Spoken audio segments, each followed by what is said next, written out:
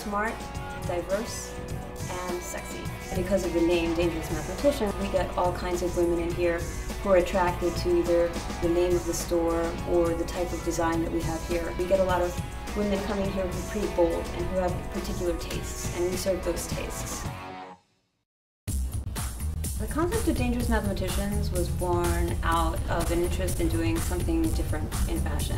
When I came back to fashion, I had already had a pretty full career in teaching mathematics.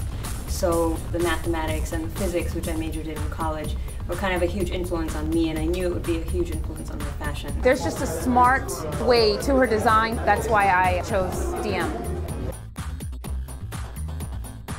Fashion doesn't always cover the intellect, and I wanted to create a label that did exactly that.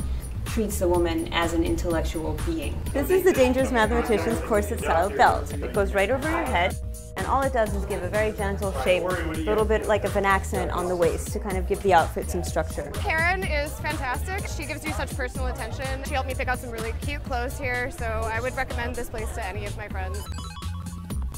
Custom design is actually how Dangerous Mathematicians was born.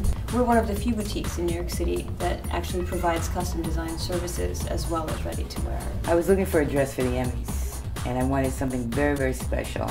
But when you're walking me, it's like boom, boom, get out of my way. People are like, what? You know, it speaks for itself. It has its own life. That's what a dress should be. She just made it like beautiful.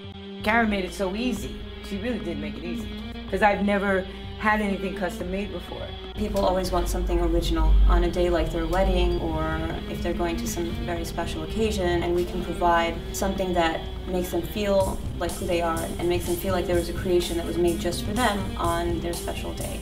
We have a lot of states recognizing same-sex marriage now and I'm really excited to see what kinds of designs we can create for lesbian couples. What I did for El King Polo was I custom designed very beautiful feminine suits I did one suit in white and I did one suit in black. They looked really fabulous together and neither of them had to wear a dress.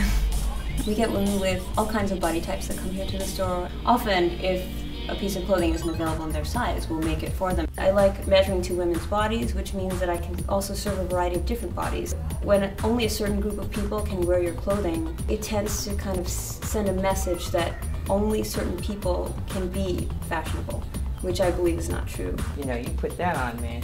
That, that's slamming. That's slamming on anybody's body. You know what I mean? We do a lot of sort of personalized design, which is why we get a lot of different kinds of people at the store. I think the store serves a much more diverse clientele than other boutiques in New York City, and we're really proud of that.